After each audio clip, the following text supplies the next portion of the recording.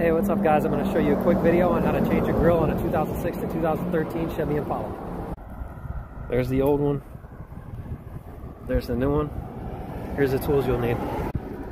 You'll have two clips right here. You're going to pop up, pop up. Take these pry tools, go ahead and pry out, pull, pry out on the side, pull, pry the bottom out, all along here.